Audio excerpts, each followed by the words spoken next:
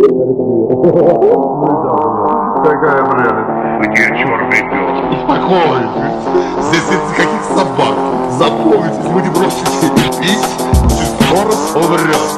Слово ру, его сердце для вас означает.